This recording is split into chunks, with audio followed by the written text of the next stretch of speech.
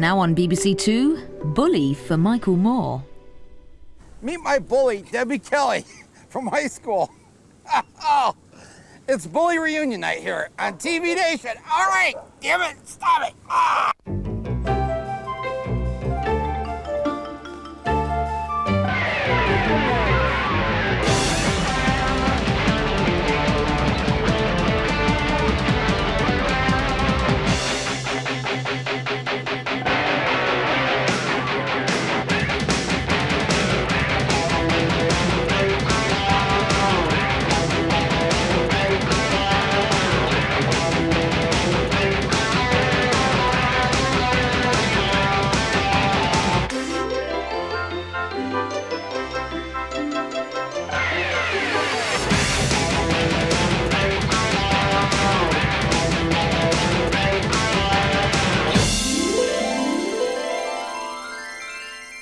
In this country, what are the things you need a license for?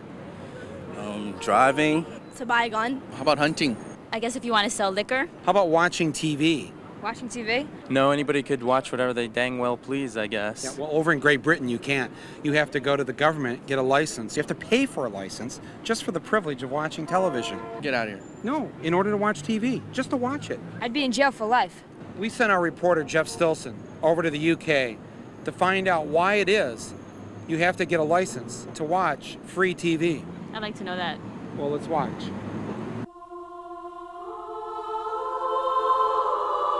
Hail, Great Britain, cradle of civilized society, home of Shakespeare, the Queen, and TV licenses? I was amazed to find out that, unlike the United States, where the airwaves are free, you Brits have to have a license from the government to own a television set. Cashing out £86.50 each year for the right to own a TV seemed weird. I couldn't imagine how anyone could hope to enforce this strange law. But then I met Ivan and Andy, TV license officers. Their mission? To make sure everyone with a TV has a license to watch it. You move the aerial to the um, direction that we suspect the television, and by picking up a signal on the, um, the graph here, we can actually locate within a couple of feet the location of the television. It isn't easy catching people watching TV without a license. You have to be prepared. I'll get the visits off the area manager, make sure I've got 178s, I've got my ID card, I have the envelopes, make sure I've got sufficient pens, make sure I drink me coffee and um, put that away, and then uh, basically I'm ready to go. I'm ready to go out. Channel 4. Yeah, right. interesting. Yes, it's quite a strong signal. It's not as glamorous as it looks. TV cheats are everywhere, and they can be pretty tough characters. He said, uh, according to our uh, system, uh, computer, you don't have a TV license. And I says, no. And he says, do you have a television set? And I said, yeah. Yvette is a mother of four who was at home sick when she was caught doing some flagrant, unlicensed viewing. Well, he says, you, you, you'll be prosecuted. 63% of those cited for not having a license are women, and many of them, like Yvette, are unemployed mothers. So if you don't pay a television license fee, then you're, you're considered a, a criminal. You're considered to be breaking the law. I made a few payments, and I think it was the week before Christmas, and I couldn't afford to send any more. And um, a, a warrant was issued for my arrest. Now, I always thought the airwaves were free. Well, basically they are, but in fact the right to use the airways, the, the, government, I mean, there is a government regulation that actually says that in fact to use the airways you have to have a licence. And if you don't, you can expect a visit from Ivan and Andy, TV license officers. How did you manage to find me? I made sure you weren't able to pick up my signal. See, I told you, Frank. Well, a fluke, a fluke. Why risk it? With every address on our central computer, it's only a matter of time before we catch you. And then you could be watching horror. If they catch you, you'll pay a fine of up to a thousand pounds. And if you can't pay the fine, you may end up watching TV in jail. So this is your first offense, and you had to go to prison for it? Yes. Did you have your own cell, or? No, I was in a cell. with, uh, with someone who's a, a drug addict. It was uh, terrible what they did to me. But I was an innocent man. I didn't know what to expect when I was going there. And it was very upsetting for us all. It was humiliating, um, degrading. I can't understand why they sent me there. I, I never, never expected that. Never. Do you find it absurd that uh, someone who doesn't pay their television license fee can end up in a prison cell next to someone who has been charged with murder?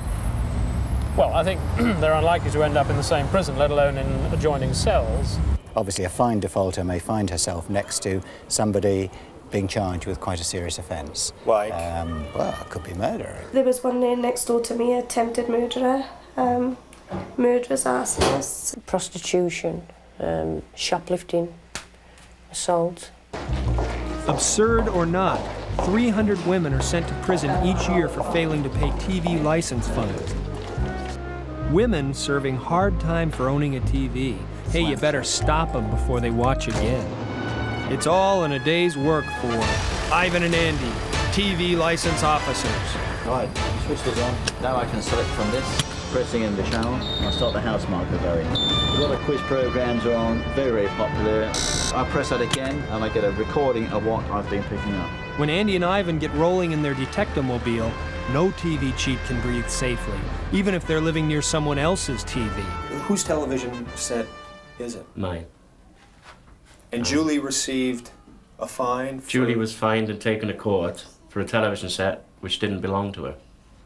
They just didn't want to listen. They just wanted to make an example of her because so many people now have cannot afford a TV license.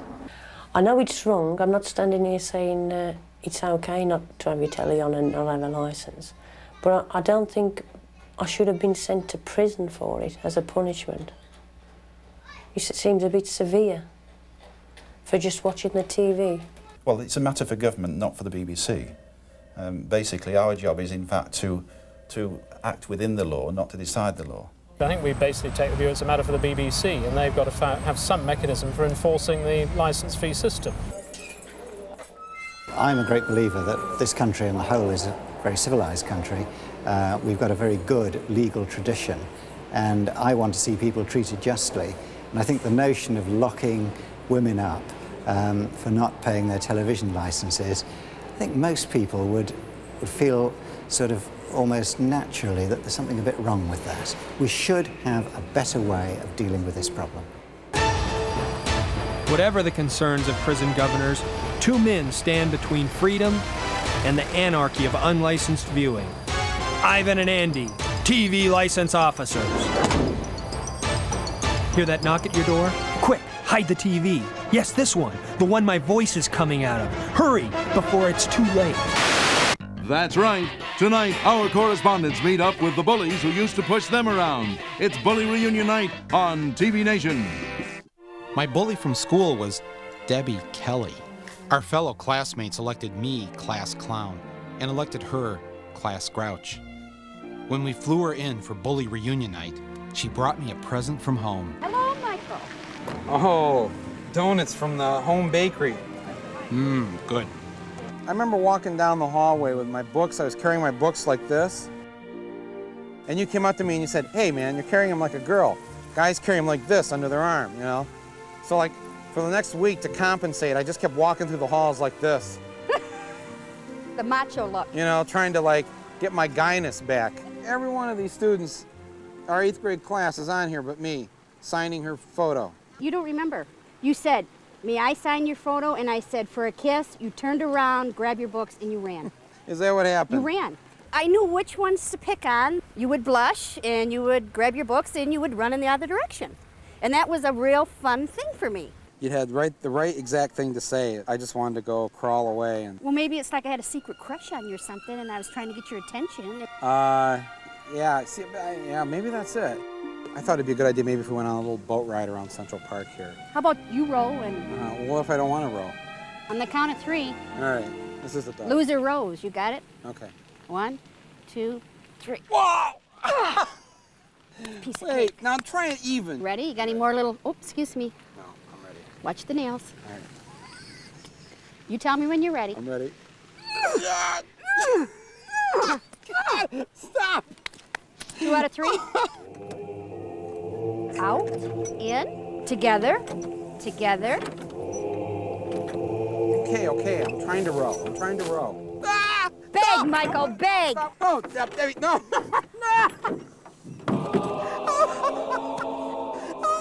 Somebody help! Where's the crew? I'll let you up if you give me a kiss.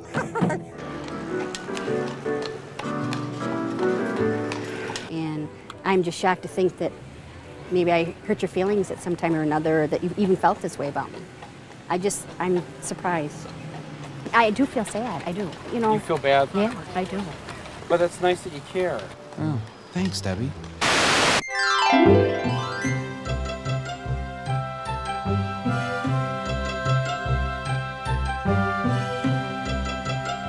Forty percent of Americans remember exactly where they were when JFK, the movie, was shot. I'm Catholic. So am I. Are you really? Yes. Yeah. So you know all about confession, right? Yes. Yeah.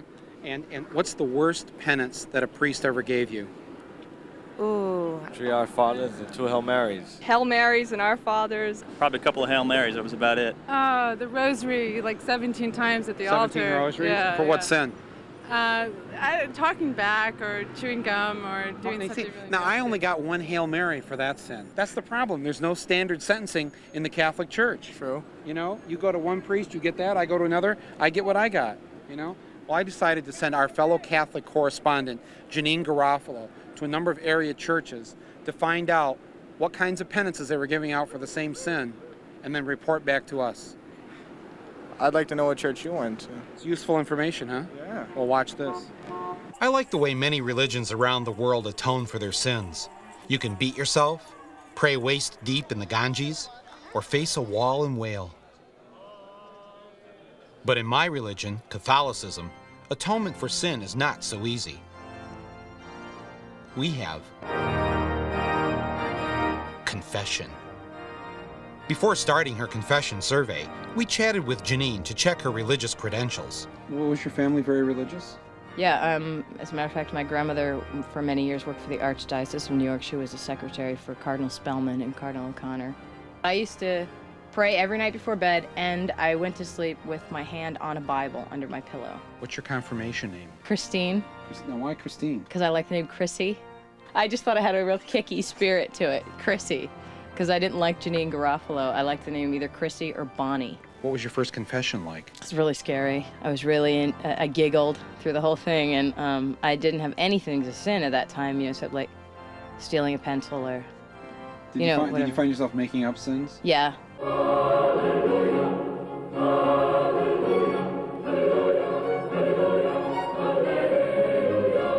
Janeane accepted the assignment and headed off to confess her sins at a number of New York area churches. But because I'm Catholic and still believe in the fires of hell, I wanted to compile an honest survey. So each time Janeane went to confession, she had to confess an actual sin. Father, forgive me. It's been a long time since my last confession. And um, I wanted to confess that I'm still attracted to other men. You know, I think of them in sexual terms. He was really nice, and he told me that uh, it was normal and just not to act on it. And, and I have to say three Our Fathers in the name of uh, the homeless and drug addicted of the city. Since Janeane had to confess a real sin each time, I needed to ensure a steady supply of impure thoughts. So I hired male model Kai Dahl to ride around with Janeane and provide the temptation.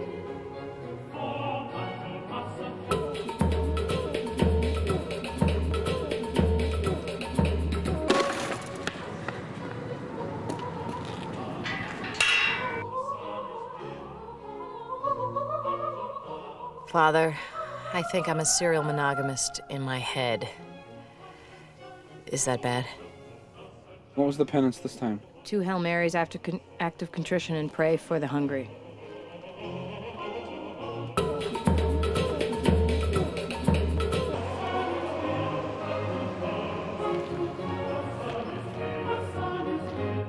Father, I've been having dirty thoughts about men.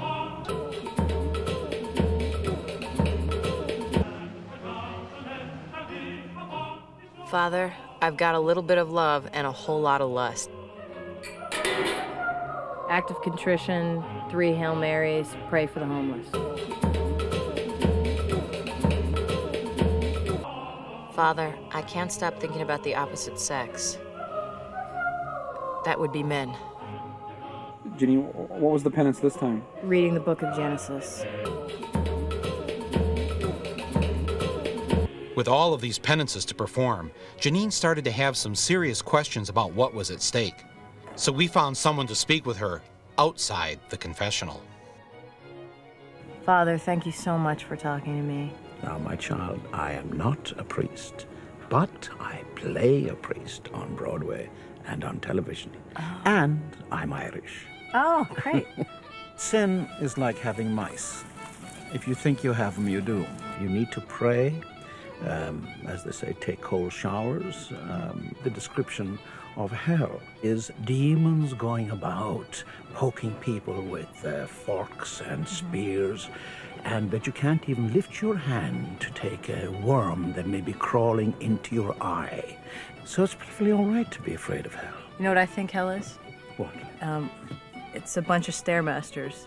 They're all at the Department of Motor Vehicles, and the only music you get is karaoke style. It was time now to compile the list of penances with our own certified public accountant. 36 Hail Marys.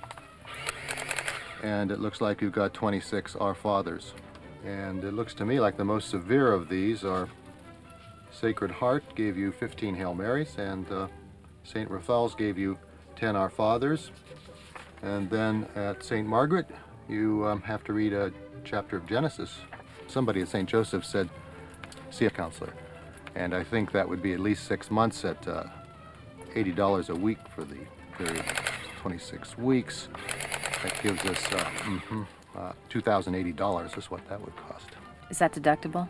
Uh, sure, if you exceed 7.5% of your gross income. The only thing left was for Janeane to get rid of the temptation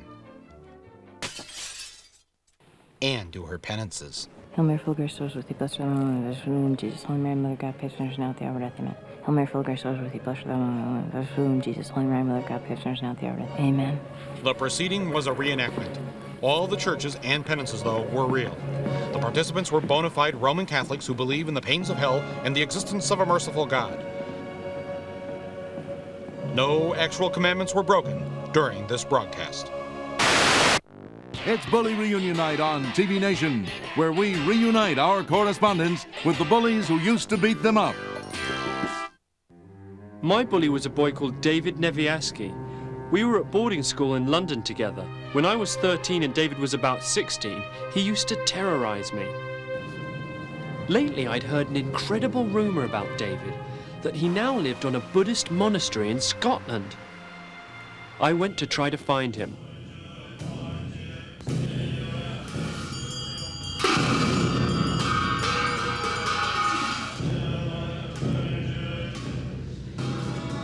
There he is.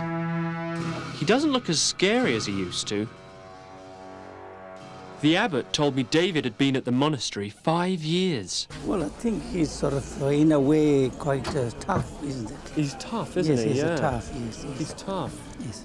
But what happens now, we call, if it is properly guided, the toughness is transformed into a positive. Is it? Yeah, I think so. Is So- David a good monk? Well, I think he's trying to do his very best. David. All right. How's it going? All right. Yeah. You know him well. Well, yeah, we were at school together. I see, I see. I'd written a list of mean things I remembered David doing at school.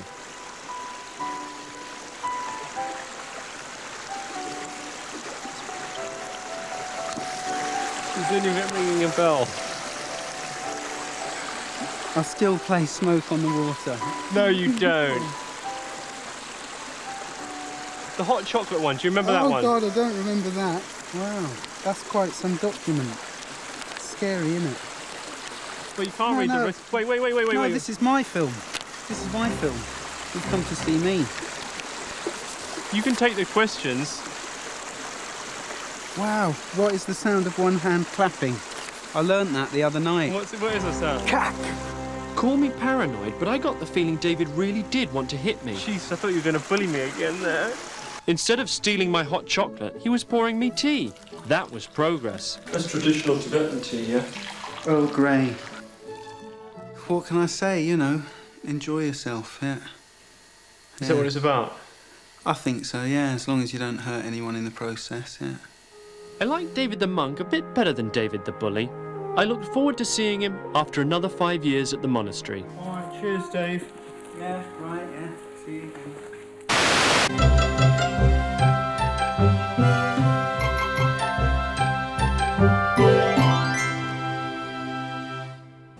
Back in the 80s here in America, there were a group of banks known as the Savings and Loans that went bankrupt because their executives looted the vaults. Now, you would think that when something like that happens, those executives would have a price to pay. Well, if you thought that, you'd be wrong. Take a look at a piece our American network would not allow us to air. Savings and loans are American banking institutions that for decades were regulated by the U.S. government. It means help for housing. But then, in 1984, President Reagan got rid of a lot of regulations and allowed savings and loans to make riskier investments. All in all, I think we hit the jackpot. And the fun began. A lot of buildings went up, and some people made a lot of money. Of course, there was a downside too. It's been called the biggest bank scandal ever. The government said billions have been squandered.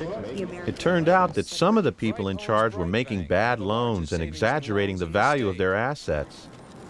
Some were charged. I was charged uh, uh, with negligence. With having an overvalued financial statement. For negligence in operating the institution. Sale of securities to investors uh, improperly. Now I'm proud to sign this monster. Savings and loans ended up $500 billion in the hole, and the government came to the rescue. Each taxpayer now pays dearly as a result of bankers gone berserk. But at least the bankers responsible got punished, right? Well, It's not whether you win or lose, it's whether you have a good time. I'm having a great time. take Neil Bush. Neil was director of Silverado Savings and Loan. Among other things, he helped approve a $900,000 loan to a friend. That friend just happened to be Neil's business partner, and that's not allowed. When Silverado folded, Neil faced a $29 million penalty. But thanks to his father, President George Bush, the American people put up a billion dollars to pay for his mistake. I learned everything I know from my dad. Thomas Spiegel ran Columbia Savings and Loan in Beverly Hills. The bank lost 1.2 billion, and the government wanted him to pay back 40 million. But Spiegel ended up paying less than 1% of what he lost. That's why he can afford a house like this, a country club like this, and meals at a restaurant like this. Oh yeah, Tom Spiegel come here, you know, say three, four, five times a, uh, a week. Bum Bright's Republic Bank flopped, and he paid $102 million in fines. Still, that's not as bad as the $3.6 billion it cost Americans. And just look at Bum now. He owns a trucking company, an oil business, and his own town. Last year, he made millions. Craig Hall paid 102 million in fines. But that's just chump change to a high roller like him. Even though he damaged both Resource Savings and Hall Savings Association, he was able to raise $100 million and now he's back in business. For me, it's, it's fun and it's a challenge, and, and that's what I've been all about since a very young age. I've never wanted overly lavish living standards. Congressman Henry Hyde used to supervise savings and loans in the U.S. Congress, but that was too boring. So he became an S&L director at Clyde Federal Savings. Sadly, his S&L tanked and Hyde was charged. No big deal. He became chairman of the House Judiciary Committee anyway. But it's not always easy being a fat cat. I felt sick. I just felt terribly alone. This is a major nuisance. They actually walked in and took the company from us. Very uh, distressing. I just got angry. Not everyone broke the law, but 50 former S&L operators formed their own support group. I know you must feel like um, you've been hit in the back of the head with a two by I four. felt uh, the need to join because of frustration. Tremendous human tragedies. I'm not the same kind of judgmental guy I used to be. I've developed some great friends from this. I realize that, that I'm not alone in this. At least they've got each other. It's not easy to live with blame, but making a lot of money helps. I'm a convicted felon, and I'm still doing business, and my firm is doing well. I'm gratified that I can still work and earn some money. My lawyers are happy too. For him, the savings and loan crisis is a done deal. For the rest of the country, it's unfinished business. Americans have already spent $500 billion to rescue all the failed S&Ls, but it'll cost another 500 billion before the bailout's done. Still, it's worth a trillion dollars to make a bunch of businessmen happy again. Everyone knows that getting a second chance is what America is all about. If you're rich. It's Bully Reunion Night on TV Nation. I was waiting for the guy who made my life miserable when I was a kid, Anthony Crunkleton. Every single Sunday after church, Anthony would be right there to beat me up and make fun of my white shoes. I have to give you the complimentary gum. Uh, welcome to New York. Is this a trick? No, man, it's friendship time. I said it was friendship time, but that didn't mean I was ready to give Anthony a free ride. So I made him do all the pedaling. I haven't rode a bicycle since that last time I chased you on one. Making Anthony sweat was sort of fun.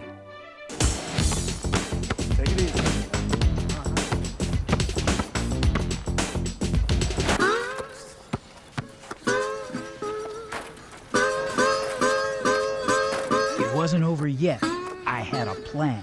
See, I think the thing is, Anthony, that all your life you've wanted a pair of white shoes like those white shoes that I had. You were teasing me about the white shoes because deep down inside, you wanted a pair of white shoes. So this should psychologically and mentally free you. Give me these. I can do it All right. myself. Great. I think those are the We ones. even now, pal. Not quite. I paid for Anthony to have a private lesson. A hundred bucks should do the trick. Let me take care of it. You have a seat. Now, there's an impact or shock technique first. That's when we do the ab work, right? So it's a shock technique, then we grab the hand technique, I'm not sure I understood the shock technique. Oh, right. up, Ah. up, oh, and over, boom. Could I Enough? see that again? Over. All right, over. This bully stuff sure had a lot going for it, but it was time for both of us to grow up. Yeah, at last. Put it here, pal. My bullying days are over.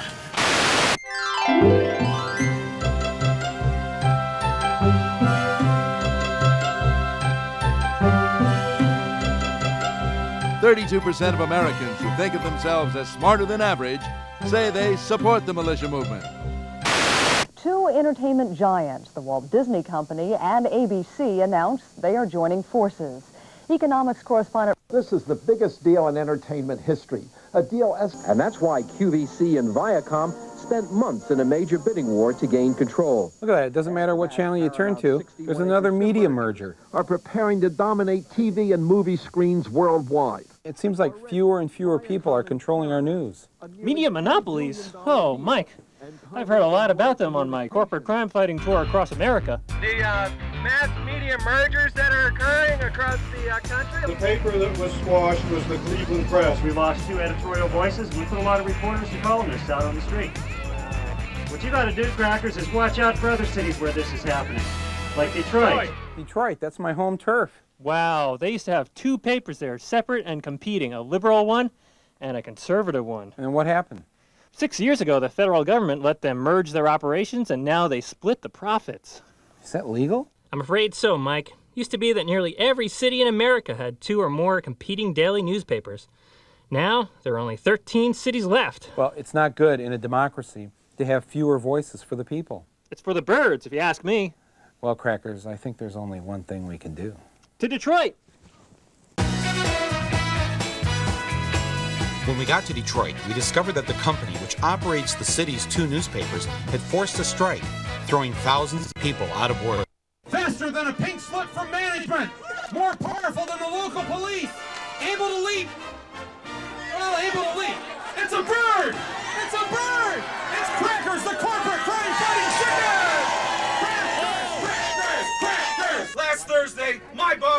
And said if I don't cross the picket line and step over my family and my friends and my co-workers, I'm going to lose my job. That company, after everything I've given to that company, they gave me the bird. Well, I'm giving them the bird back right here.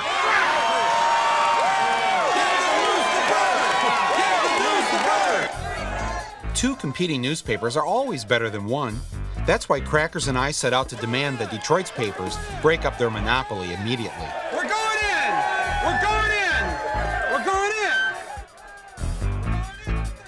With his superhero strength, Crackers forced open the locked security doors.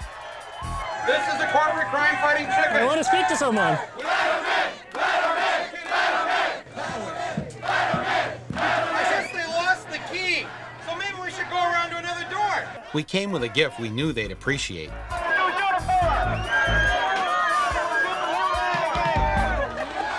The news was trying to shut the door on us again. So Crackers decided to reason with them. Hey, who's gonna hurt a chicken?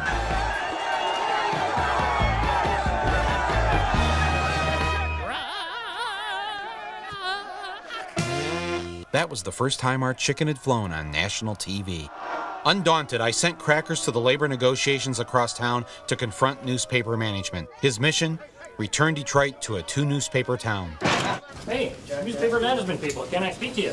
As newspaper people, you must understand the need to get both sides of the story. Can we just ask you a few questions? Will you not respond? Can you hear me? Hey, didn't I tell you to get, get out of here? You guys are gonna have to leave the, the area, especially you. We're not gonna make a circus out of this now. I'm asking you guys to leave. Is it something you have against chickens? No, I have nothing against chickens. It's just no costumes like this are gonna clutter up our negotiations. So please leave. I need a mediator to deal with the mediator. Apparently, these newspaper guys didn't like reporters. There was only one thing left to do break that monopoly once and for all. I'm gonna start a newspaper. So he set out to report on what was happening in Detroit. Well, I'll tell you what's happening here for sure. Any stories going on here? Deal with a lot of emotions. Just the facts. But we don't have any freezers or anything. No, no freezers.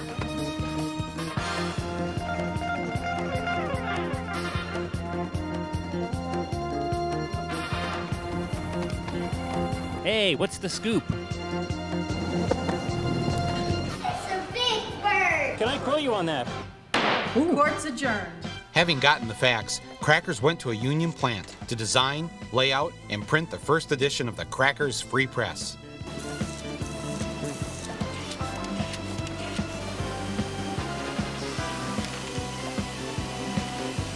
Yes!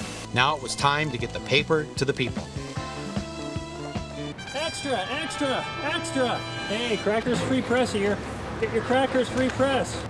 Thank you, Crackers.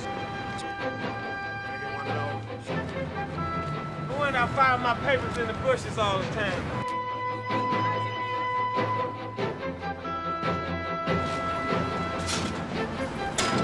Hi. See, I got this tip about corporate crime.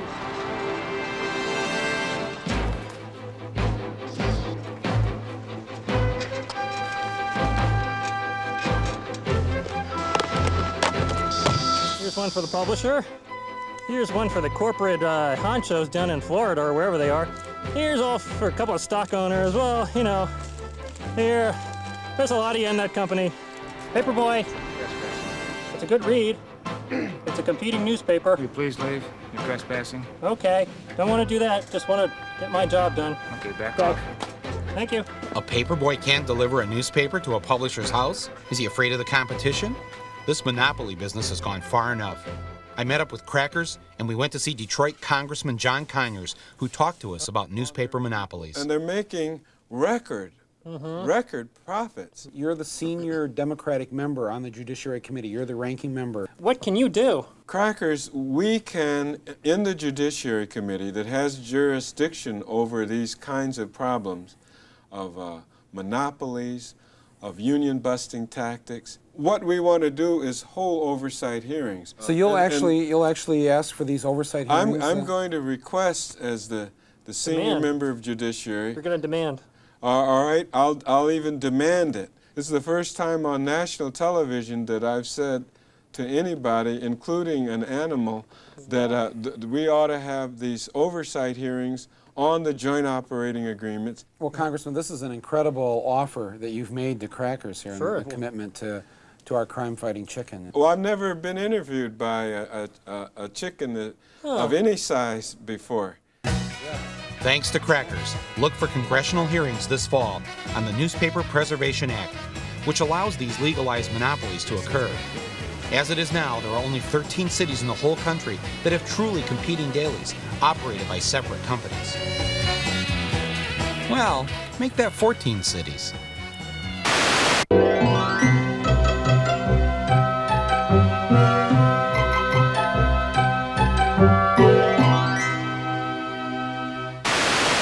And now, more of TV Nation's Bully Reunion Night. In seventh grade, I had the first teacher who wouldn't let me talk my way out of a jam Sister Janetta. She was tough, and even today, the thought of seeing her again has me a little scared. I couldn't find my seventh grade uniform. I hope she'd recognize me anyway. Hi, Sister Janetta. How are you? Good. Hi, good So to many see years, you. right. Yeah, oh, I wouldn't recognize you anywhere. I would too. No, I can't even remember. I see the little girl next to the board there, maybe the second row towards the end. kind of hiding from you. Right. Yeah. I thought I'd show Sister Janetta one of the places where I'd played hooky. So, what do you think? You think I'd make a good nun? Oh, sure. Yeah? It's not too late? Never too late. Some people are smoking pot over here. Where? Right here on the left. Oh, really? Yeah. Yeah. How would you know that? Sister Janetta could still catch me, just like the old days. I took the sister on a nostalgic field trip to the Liberty Science Center. I remember spending more time in the hall. You never really had the ruler. You know, you never, No, you I never didn't wa- need a ruler. No, well, because you were the ruler. it was a wholesome fear. yeah, wholesome fear. Oh, all the models here. I the know. Look at that. Man. The visible Right. man, the pumping heart, the Right. eye. Right here. Brain and skull.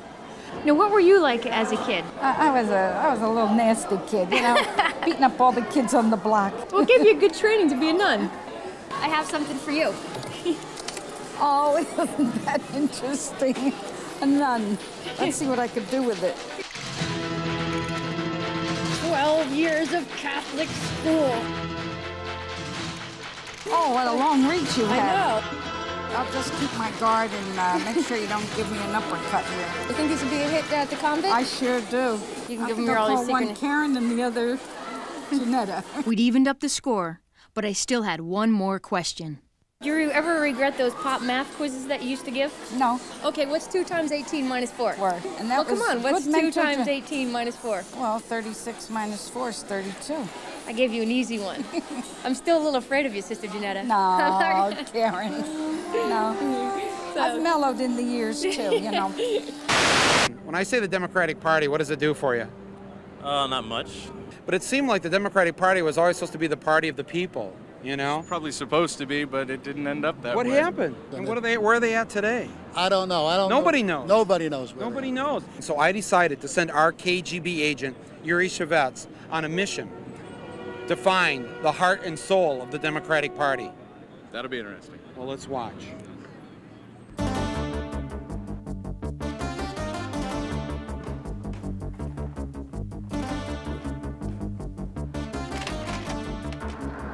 Yuri, this is your mission. Something strange has happened to the Democratic Party. Three years ago, they won the White House and both houses of Congress. Now they're losing it all. Your mission is to find out what happened to the Democrats and how they can regain their lost soul. I had my mission and I knew what to do. I learned the Democratic National Committee was meeting in New Orleans, Louisiana.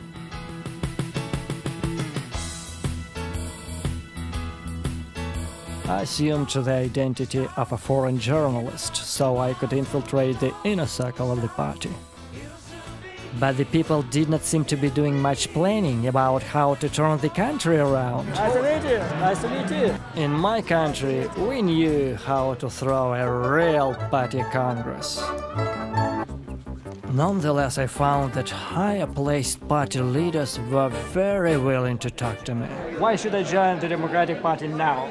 If you're selfish, be a Republican. If you're a patriot, be a Democrat. Thank, Thank you. you. What did he mean by this? I needed answers from the party boss. Good afternoon and welcome to New Orleans. I was surprised that the auditorium was not full for the president's videotaped address to the party faithful. In my country, there would be consequences for such an absence. If you don't know right now why you're a Democrat as we head toward the 21st century, I don't think you'll ever know. What an incredible thing to say to members of your own party. With an attitude like this, it's no wonder that the Democrats have lost their traditional base of women, working people, and minorities. In my country, when you lose touch with the people, what happens is not a pretty sight. Everywhere I went, the Democrats were sounding more like Republicans. No one has cut more from the federal budget than the president and the Democratic Party. Cut the budget? We must never, ever be afraid to talk about family values. Family values? My counsel to you tonight is, is to act like a Republican. Act like a Republican? This is the Democrats' problem. The Republicans already have a party. It's called the Republican Party. No wonder 60% of the American public doesn't vote. Michael, as a result of my trip to the Democratic National Committee, I can now make to you the following recommendations. Number one, President Clinton must start acting like a man. I still don't want to do that, but I will if I have to. Number two, the Democrats must never again use a theme song by Fleetwood Mac. I hate this band. Finally, I believe that President Clinton should stop jogging with people like Baywatch star David Hasselhoff and should spend more time jogging with people who can get him back in touch with his democratic roots. Only then can he avoid his fate. Well, we've managed to get through bully night without having to mention those uh, BBC executives who are breathing down my neck all the time. Just a little joke. Uh, next week, we'll be back here with our last episode of this season, so be sure and tune in then to Michael Moore's TV Nation.